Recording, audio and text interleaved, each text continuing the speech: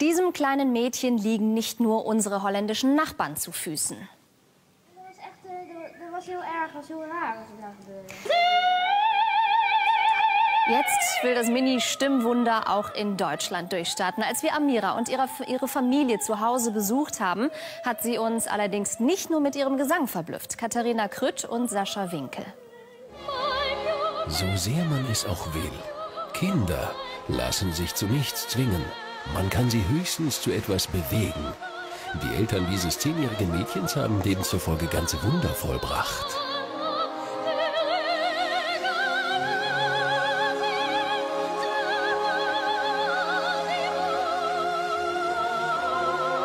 Große Stimme, kleines Mädchen.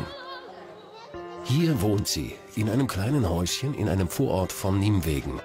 Alles scheint normal. Zwei Kinder haben Spaß im Garten. Das Mädchen aber hat etwas Besonderes. Sie kann singen. So gut und so außergewöhnlich, dass sie auf Anhieb eine ganze Nation verzaubert und das Supertalent in Holland gewinnt. Erstmal habe ich gedacht, ich muss träumen. Das kann nicht sein. Vorher wusste ich ja nicht, ob ich echt gut singen kann. Und am Morgen nach dem Finale bin ich aufgewacht und denke, wow, das ist echt nicht zu glauben, dass ich sowas geschafft habe.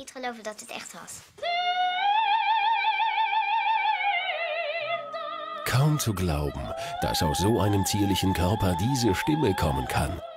Doch dafür hat Amira lange geübt. Nicht etwa mit einem Gesangstrainer oder im Musikunterricht. Hier in der Küche schaut sie jeden Tag YouTube-Videos und singt dabei. Nicht Lady Gaga oder Taylor Swift. Nein, die Zehnjährige hört Pavarotti, Bocelli und Domingo. Opern eben. Alle ihre Freunde mögen Popmusik, aber sie mag das nicht. Sie hört das natürlich, wenn die anderen das hören, aber wenn sie alleine ist, dann käme sie nie auf die Idee. Sie mag es wirklich, Opern zu hören. Ich hatte das nicht und er hat es auch nicht. Es ist ihr Ding. Und das so sehr, dass es jeden verzaubert, wenn die kleine Amira singt. Ob die Jury in der Castingshow oder die Menschen in ihrer Heimatstadt Nimwegen. In ganz Holland ist ein wahrer Amira-Hype ausgebrochen. Fast jeder kennt die Kleine mit der großen Stimme. Und das, obwohl wir nur ein Foto zeigen. Sie ist eine kleine Sängerin, neun Jahre und sehr äh, hübsch und talentiert.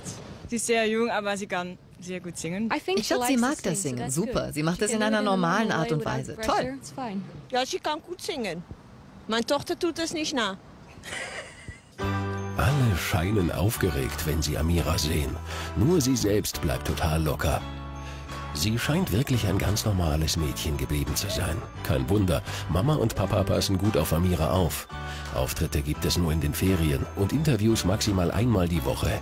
Heute muss die Zehnjährige ihren Hamster Rosi beerdigen. Der ist seit vorgestern leider im Himmel, sagt Amira selbst. Auch vor der Show war ich doch ein normales Mädchen. Und dann bin ich aufgetreten und jetzt fühlt sich das auch nicht anders an. Und ich denke ganz ehrlich auch gar nicht so viel drüber nach. Vielleicht ist es diese Bodenständigkeit, die ihr den Erfolg bringt.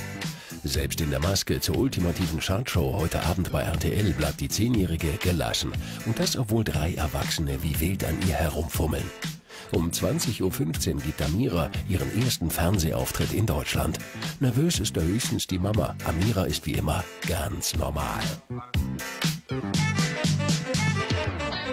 Naja, fast. Im Moment weiß ich ja nicht mal, ob ich wirklich eine Sängerin werden will. Ich mache ja noch viel Gymnastik und anderen Sport.